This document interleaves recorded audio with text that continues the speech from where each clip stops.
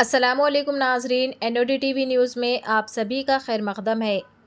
आज कारवान हलक़े और नामपल्ली हलक़े के टी डी पी कायदीन ने नारा चंद्रबाबू नायडू की गैर कानूनी गिरफ्तारी और उनके ऊपर झूठे मुकदमा दर्ज करने के सबब A P C M Y S Jagan Mohan Reddy के खिलाफ एहतजाज मुनज़म किया। गांधी मुनजसिमा हैदराबाद पार्लियामेंट के करीब लंगर हाउस पर धरना मुनज़म किया गया। टीटीडीपी जनरल सेक्रेटरी और Karwan हलक़े TDP incharge Bandari Venkatesh sir, रियासती अकलीती जनरल सेक्रेटरी सैयद मतीन अहमद, अनूप कुमार बिगेडी रियासती सरकारी तर्जुमान, सुरेंद्र सिंह सीनू गोलकुंडा खैरुद्दीन नामपली हल्के के कोऑर्डिनेटर वीरा देवीलाल अन्ना, शिवराज अन्ना, चंद्रकांत अन्ना, मामिदी सुरेश अन्ना, साई कृष्णा अन्ना और दीगर टीडीपी के सीनियर कायदीन भी इस मौके पर मौजूद थे। चैनल को लाइक करें शेयर करें और सब्सक्राइब ज़रूर कर लें।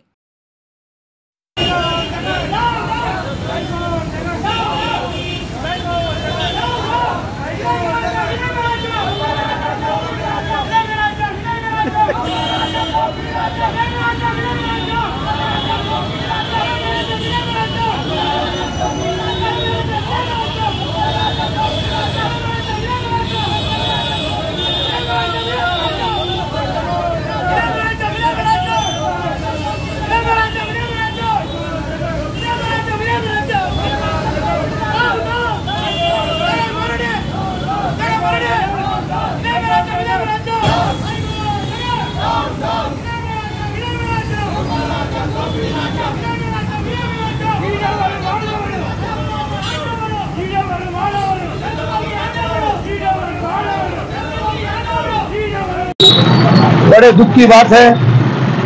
आंध्र प्रदेश के भूतपूर्व मुख्यमंत्री श्री नारा चंद्रबाबू नायडू को आधी रात को अरेस्ट किया गया। एफआरआई में नाम ना होते हुए भी बहुत दुख की बात है जो अरेस्ट किया गया। रातों रात आकर कोई मुजरिम को अरेस्ट करते वैसे अरेस्ट किया गया। ये बड़े दुख की बात है।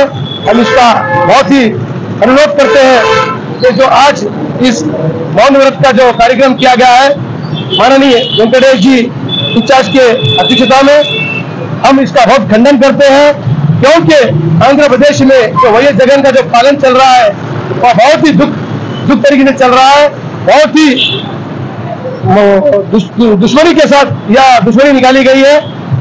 चौहत्तर साल के श्री नारा चंद्रबाबू नायडू जी को जो चालीस साल तक एक भी उन पे धब्बा नहीं था, उस धब्बे को वही जगन जी ने जो आज काम किया बहुत ही दुख का काम किया बहुत ही गलत काम किया हम उनको फिर बहुत मजबूर होते हुए यह बात बोल रहे हैं कि चौहत्तर साल के आदमी को बीपी शुगर बहुत उनका कम होते जा रहा है मैं स- सरकार से तेलंगाना सरकार से निवेदन करता हूँ और अ, केंद्र सरकार से निवेदन करता हूँ इस पर एक्शन लेकर उनको तुरंत जेल से रिहा कर दिया जाए जल्द कैलकुलेशन जल्द चंद्रबाबू नायडू జై తెలుగుదేశం మీరందరూ గమనించినట్లయితే అక్రమానికి చోటు లేదు. మొత్తం అక్రమ చేయడం న్యాయం చోటు లేదు. అక్రమాలు మొదలైనవి మంచి చేసే మనుషులు లోపలేస్తారు. దొంగలు బయట ఉంటారు? ఆ, మా నాయకుడు చంద్రబాబు నాయుడు గారు ఏం అన్యాయం చేసిరని ఎఫ్ఐఆర్ పేరు లేదు. ఆ, ఎప్పుడో ఎప్పుడో five six years back cases పెట్టి అవుతారు ఉల్టా ఏసీబీ కోర్టు వాదం ఉన్నాక డిసిషన్ ఇస్తారా అంటే ఇయ్యరు. దాన్ని పోస్ట్ పోన్ చేస్తున్నారు. ఇది కావాలని పబ్లిక్ తెలిసిపోతుంది మొత్తం ఇక్కడ. అందరు ఆంధ్రప్రదేశ్లో సైకో సీఎం ఉన్నట్టు యథా రాజా తదా ప్రజా ఉన్నట్టు సైకో సీఎం ఉన్నట్టు సైకో తయారే మొత్తం. జడ్జిలేమి సిఐడి లేని ఐపీఎస్ అందరూ సైకో తయారైపోయారు అదే డిసిషన్కి ఇందరు పడుతుందండి. ఇది హైకోర్టులో కదా. న్యాయమైన టైం లేదా విన్నింగ్ ఆయన టైం లేదా విన్నింగ్ ఆయనకి? ఆయన మళ్ళీ తర్వాత ఇంత అంటాడా? ఇది వెళ్తేనా ఎంత ఎమర్జెన్సీ ఉంటే మేము బెనిఫిషన్ పెడుతున్నాము స్కాలర్షిప్ పెడుతున్నాము. దానికి ఆన్సర్ ఇవ్వరా? పోస్ట్పోన్ చేసి నైట్గా పోస్ట్పోన్ చేస్తున్నారు న్యాయం ఏందా ఇందులో అరే ఇంత అఫీషియల్ వైట్ కాలర్ డెలిగేట్స్ ఇదే పద్ధతి మాట్లాడేది.